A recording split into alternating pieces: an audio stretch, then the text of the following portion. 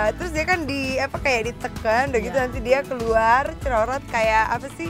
Keluarnya agak-agak aneh sebetulnya. Dia Iya. keluar kayak kayak apa ya? Kayak ulet gitu. Pemirsa, tadi saya sudah ditemani oleh Ibu Haja untuk melihat songket ya Bu ya. Sekarang giliran Ibu yang temenin saya masak. Ibu, kita mau bikin kue cerorot. Nah, Oh, kalau dengar iya. kue cerorot tuh pasti pikirnya kan yang di kayak dibungkus Iya. daun itu ya Bu ya. Di sini kayak pakai daun kelapa muda itu lanobi. Iya, terus dia kan di apa kayak ditekan, udah gitu Iya. nanti dia keluar cerorot kayak apa sih? Keluarnya agak-agak aneh sebetulnya. Dia Iya. keluar kayak kayak apa ya? Kayak ulet gitu. Ibu siap? Ya. Ya. Oke. Nah, yang pertama kita mau bikin untuk adonan cerorotnya dulu ya pemirsa ya. Adonan cerorotnya gula jawa 400 gram, ini saya kasih dua ke ibu, dua ke saya. Gula jawanya tinggal di diiris-iris aja seperti ini. Nah, disisir namanya. Terus eh, mau saya tambahkan 850 cc santan.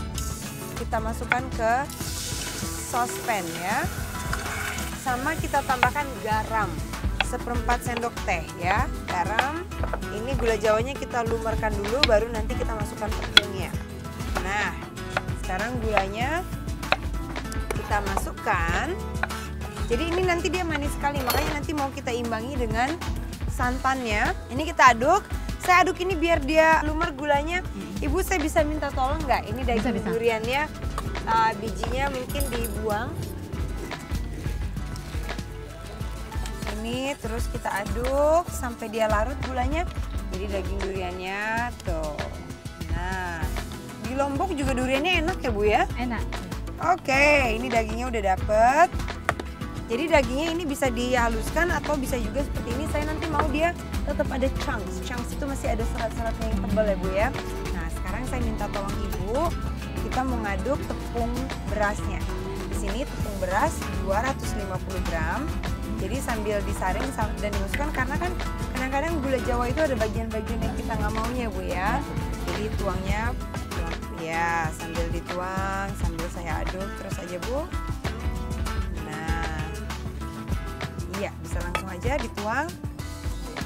Oh ternyata gula jawanya ini bersih loh. Ini kita aduk rata ya pemirsa seperti ini. Dan tadi yang daging durian 100 gram daging duriannya. Kita masukkan juga.